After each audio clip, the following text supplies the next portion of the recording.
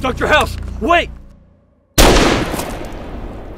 Good shot, Dr. House. Dr. House, look out!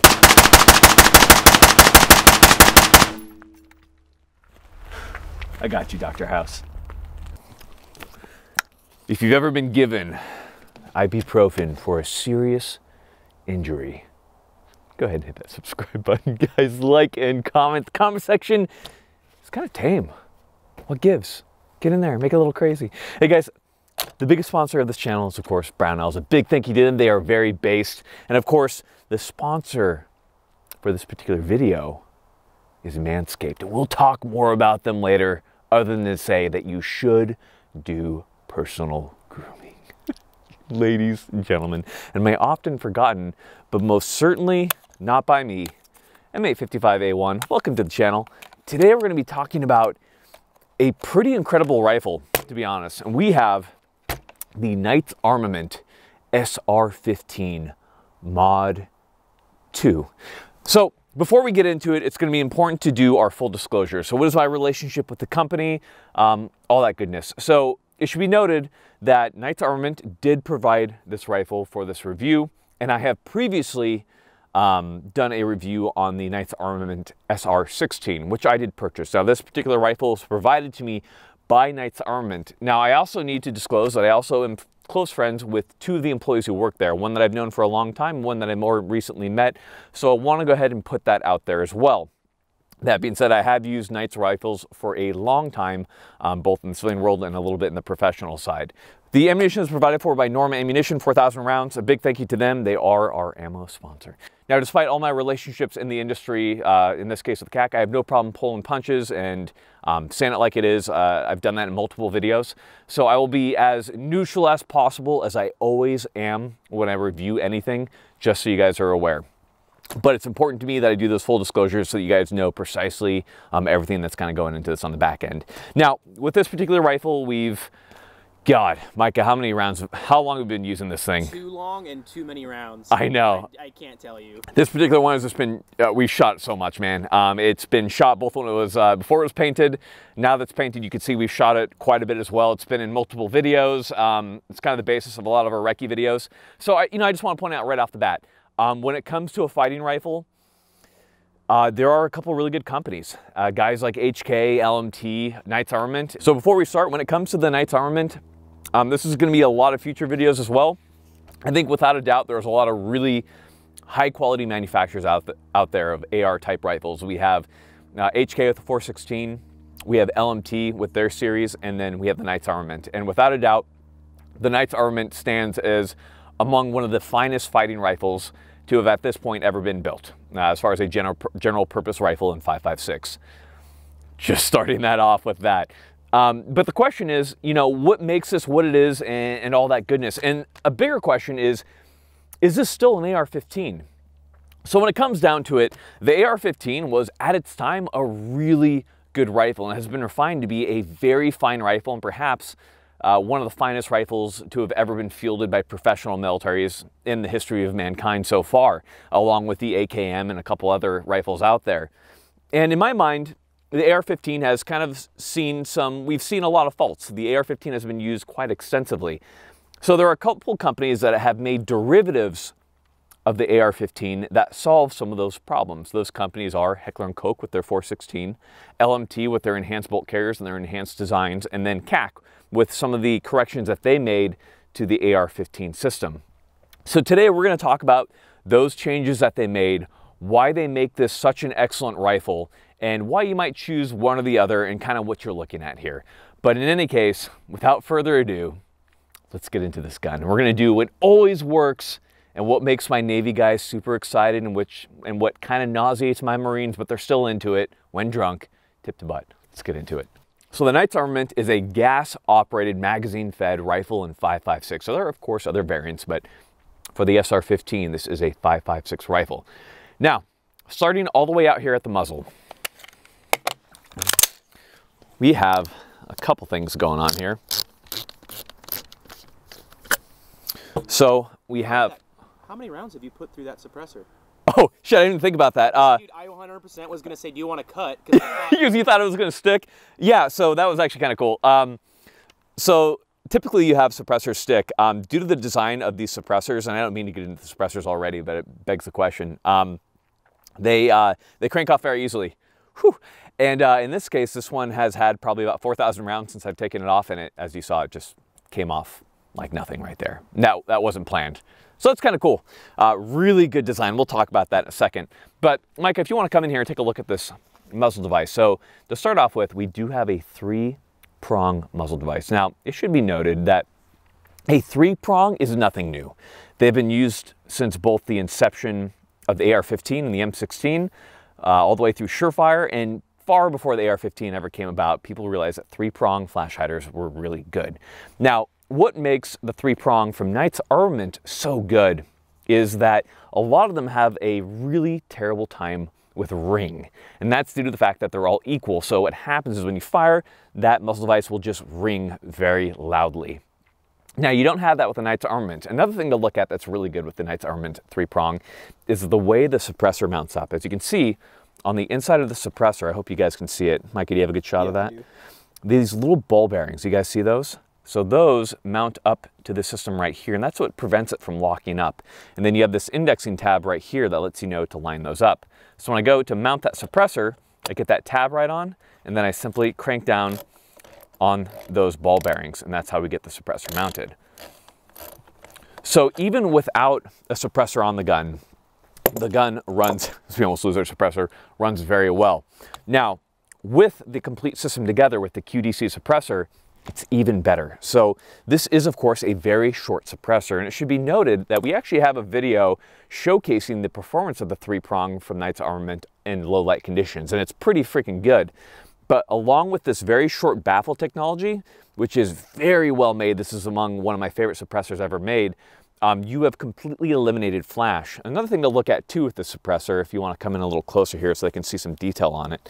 As you can see right here, we have a lot of surface area. This allows the suppressor to cool off very rapidly, even under rapid fire. So what you have is you have a sound suppressor that isn't really here to modulate sound so much, it will do it, but rather the main goal with this is to make sure that flash is completely eliminated and for CQB teams where it's going to take a little bit of that edge off. Now, when you're using this on a 14.5 gun like what we have right here, the sound modulation is pretty good and it's actually not that bad to fire without ear pro. So when you're working in the mountains and in some type of recce, in some type of recce role, this suppressor is really awesome. And I can't say enough good things about what they've done at the end of this weapon. Now, from there, it's also quite lightweight. Man, I love the suppressor. Um, another thing to note about the suppressor is depending on your material used, you might have a lot of suppressor glow under night vision. This is very common with cheaper cans or a couple different materials. You don't have that with the Knight's Armament. It's quite good. Extremely well made. This, Surefire, Dead Air, these cans are performing extremely well. Um, this would definitely edge it out as among my favorite cans. Now, going back from there, Another thing that is really important when it comes to a weapon is going to be the heart of the weapon, the barrel. Some would argue the bolt carrier, bolt carrier group, but uh, for me, it's the barrel. and when it comes to the barrel, I thought this was going to be a negative because I hadn't researched it before, but the barrel is quite, quite honestly phenomenal. Um, it is a cold hammer forged barrel, which is uh, precisely what you want with a hard use barrel. They're just, they're excellent. They have excellent longevity. So this barrel both has excellent longevity as well as being chrome lined. Now typically chrome lining makes it so that weapons aren't quite as accurate and that's just due to the way the chrome lining process works and some of the impurities and imperfections you have uh, down the bore of the barrel. But Knight's Armament has done some type of hocus pocus. Maybe they made a deal with a mage or a warlock somewhere. And for whatever reason, these barrels will hold sub MOA all day long. There's a really good review out there not too long ago where a guy fired uh, 20,000 rounds through an SR-15 over a couple months.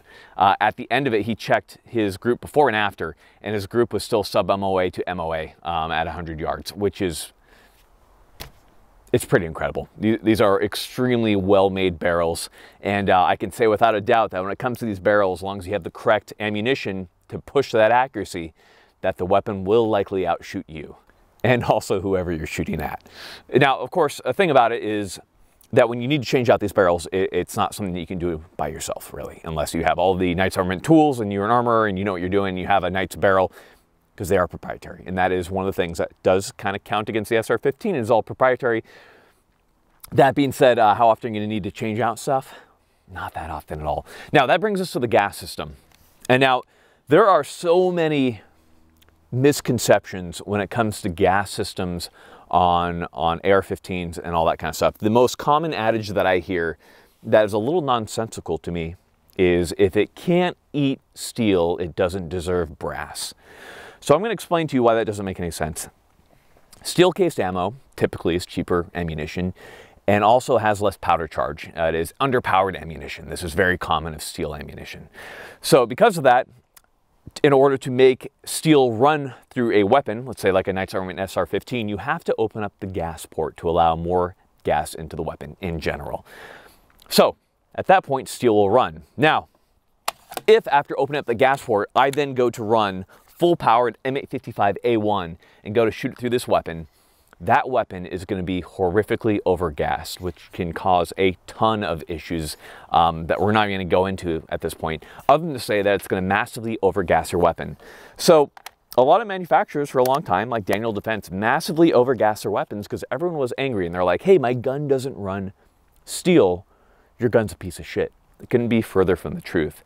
So you have to realize, and this is probably one of the one of the few negatives about the SR-15, is that the SR-15 is a rich bitch and she deserves good ammunition. She is combat gassed for combat ammunition. So if you use underpowered steel ammunition, you will likely have trouble with your SR-15. It might run. I'm sure some guys will be out there and they'll hop in and say, well, I changed out the buffer spring or maybe the same one and it works. That's fine. Just be aware that the Knights Armament SR-15 is designed to work with full power military type ammunition. And where it really shines is that the gas settings with full power military ammunition are phenomenal. So what's good about the SR-15? You can kind of see it here. We'll have Micah come in here and try to give you guys a look. Now, hopefully you can kind of see into that gas system. It's a very interesting system. So compared to a typical AR-15 where the carbon will eventually bake in and lock all the gas into place, out of the factory, this is a completely sealed gas system, not just the gas block, but as well as the gas tube. It is a three is a full seal so that when it comes to the factory, it is precisely gassed to work perfect with duty type ammunition.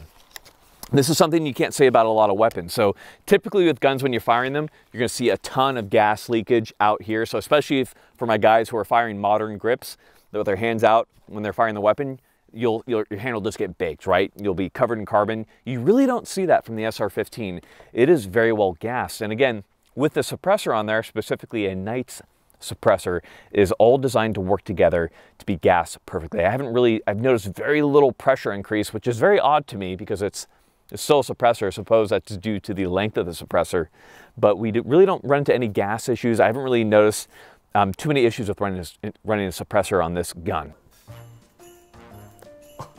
Hey guys, I missed you there. You know, this video is sponsored by Manscaped. We want to give a big thank you to them, very base of them for doing that. Now, I'm not saying that you have to groom yourself or that you don't have to groom yourself, but what I am saying is if you are looking to groom yourself, you really can't go wrong with Manscaped. You know, I've actually used Manscaped for quite a while. In fact, before they ever sponsored us, so when they were like, you want to show Manscaped on your channel? Well, absolutely. Now, what's cool about the Manscaped trimmers and all their products in general is that they are safe and they're made to be used everywhere. So whatever you want to shave or you want to take care of, they make a product for it. So right here we have the Lawnmower 4.0. I like this thing quite a bit for a couple reasons. One, it's waterproof, so you can use it in the shower. Two, it wirelessly charges. And three, it just generally looks pretty good. Now, beyond that, there are a couple other great products that we want to talk about. Those hair trimmers. You guys are out there. Got some nose hairs that sticking out.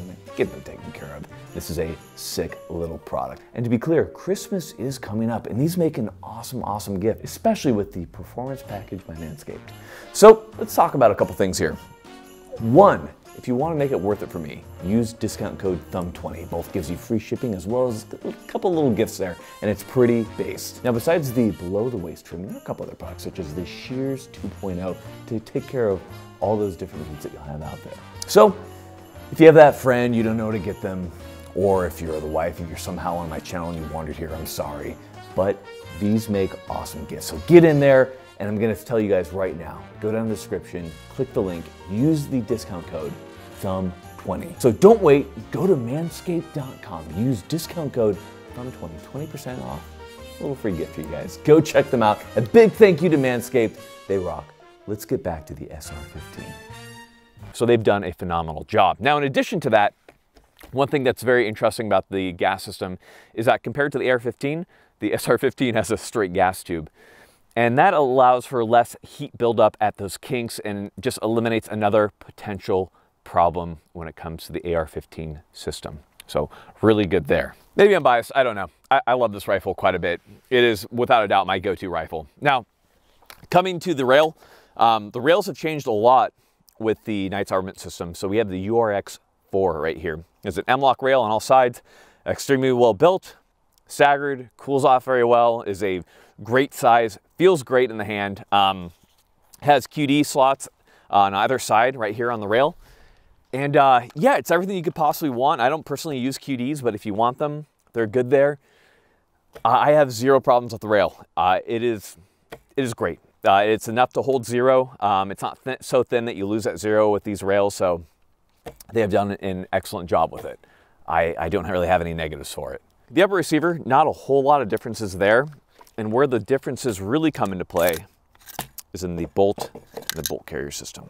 So we will go ahead and we will talk about those right now because this is where the system gets really interesting. So there are weak points on AR-15 bolts, without a doubt. It's every system has a weak point. Now, in the case of the SR-15, they have done a lot to try to alleviate those problems before they come into play. So for me, uh, on a lot of guns, I've broken these bolt lugs all the time, right? It just happens to me. It's one of the weak points of the weapon. So what's done on the SR-15 is they are rounded.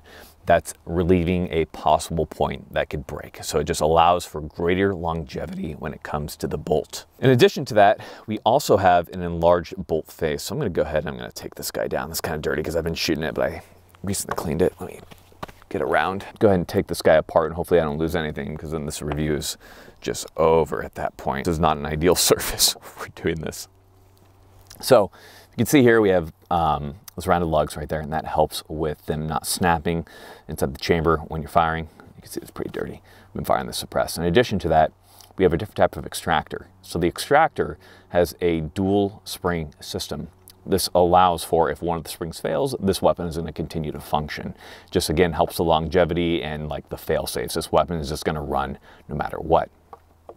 Another thing to look at is the firing pin.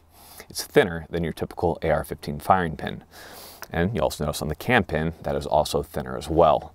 What this leads to is they're able to increase the thickness right here. We have a thicker bolt web right here, which is another common breaking point on the AR-15 bolt. Uh, I've seen that plenty of times as well. So small, it might seem like small upgrades, but these are things that lead to greater life on the overall system. So you have to realize that you have to combine this with everything else going at the SR-15. You have a very, very reliable system. So that's what they've done with the Bolt. Uh, again, LMT has made very similar upgrades in many ways. Um, I don't know that one is uh, better than the other, other than to say that uh, they both have really good design. And again, if I can relate that back, right? This bolt design comes back to like that 20K torture test, and this has been done multiple times um, on the SR-15 where it just continues to perform despite whatever's happening. It is a phenomenal design. I sound super biased, but I get it, guys. Like, you could put together a really good gun, right? You can put together a really good gun um, for probably less money. But what you're not getting is you're not getting all the fine details that you see in this entire system working together. And I think that's what you're missing here, and you certainly do pay a premium for that. The Knights Armament SR-15 is a very expensive rifle, and even more frustrating is that um, they're kind of rare. They're kind of hard to get your hands on. So I do understand that, and I don't mean to, to, to make this like a gatekeeping thing where if you don't have it, it you know, everything's over. I'm just pointing out that this is a really good rifle. It's among the best made. Um, LMT is quite good as well, and you can build a really good weapon, like I said before. You're just missing that very fine detail that you get in the way everything is balanced out the gate from the Knights Armament SR-15. Just a quick note there. Now, when it comes to the lower, it's a pretty standard. There's a really not whole, a whole lot going down. Uh, now, when it comes to the lower, there's not really a whole lot going on there. So you can see right here, uh, you have your standard magazine well. Now, what is different from other weapons is that you do have ambi controls. Uh, to a point, you have to understand. So what I mean by that is compared to like the LMT, which does have the ability to lock the bolt back, you don't have that with the Knights Armament SR15. So if I want to lock the bolt back, I still have to do it in the traditional way. I have to pull it back, depress, and then I can lock it back. Now, you can bolt release right here, but you're not going to be able to lock it back. We, of course, have our magazine release. On the other side right here, we have a magazine release. So for all my lefties out there, this is a pretty good rifle. Um, LMT might be superior in some ways, but the SR-15 is still quite good.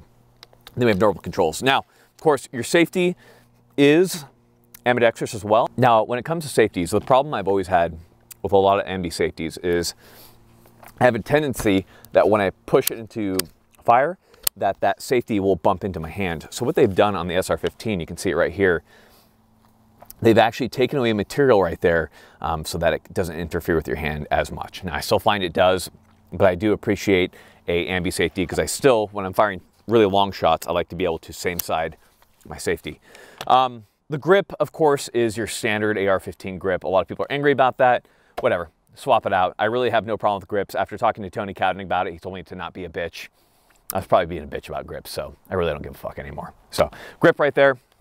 Now, when it comes to the trigger, the Knights Armament trigger is a two-stage, 4.5 pound trigger, and it's really good, to be honest. And it's much better than what you get from LMT right out the gate. Um, it's much more of a, it has a very, very much so a Geissele SSAE feel. So let's go ahead and try that trigger together.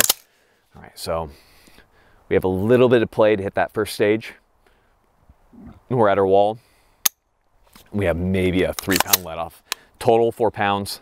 Again, little play. That's a really good trigger. Okay, feel the reset. Just right there.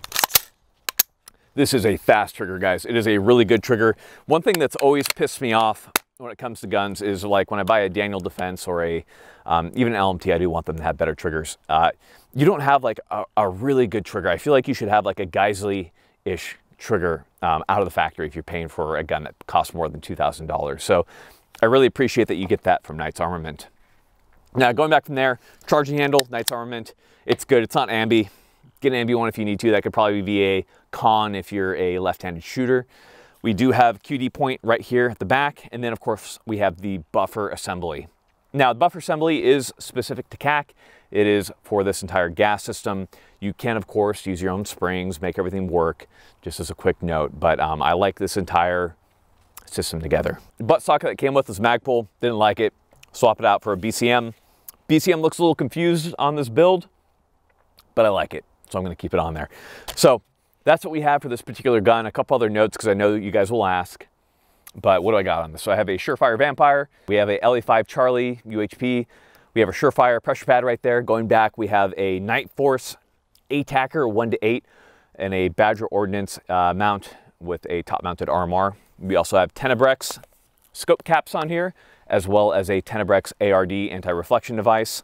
And that is the general setup on this. It should also be noted that the Knights guns do come with iron sights and the Knights iron, sights are phenomenal, among the best out there. Now I wanna be clear guys, there is nothing wrong with your BCMs, with your Radians, with Noveskes, they're all phenomenal, phenomenal rifles. And by me saying this is among the best isn't in any way invalidating those rifles at all. This is merely pointing out that this is probably among the pinnacle when it comes to a fighting rifle. So don't don't think that in any way I'm I'm saying that if you don't have this that it's not good or that a Noveske or a Radian or any of those aren't good or a built rifle because those can be really good as well. I'm just pointing that out how excellent this particular rifle is and how good a job they did putting everything together on it and making a professional general purpose fighting rifle. Um, again, this is my go-to. This is the rifle I have set up for everything. This is it for me. So we have Knights Armament SR-15 guys, but here's the thing. If I don't train, this gun's not gonna do me any good. I'm still gonna suck with it, guys. You have always and will always be the weapon. Armed Americans, dangerous Americans, that dangerous farmer is an American tradition make sure that you train. These are tools and they are very necessary, but never forget that you are the ultimate weapon. All right, guys, I appreciate you very much. Thank you for watching. A lot of really cool stuff coming up. Take care, guys. We got nothing else for you. Final note for you guys. Holidays are coming up. you know what? A lot of people have fallen some tough times, guys. What I want you to do, maybe reach out to some friends. Maybe somebody doesn't have their family, has a bad relationship with their family or whatever. And you know what? You reaching out, and inviting them out for a little bit of holiday cheer could make all the difference in these people's lives. So get out there, invite a friend in, uh, just be a good neighbor, be a good friend. That's what I've always stressed, guys. Continue to do that, continue to build communities because that's what men and women like us do. Thank you guys. Take care.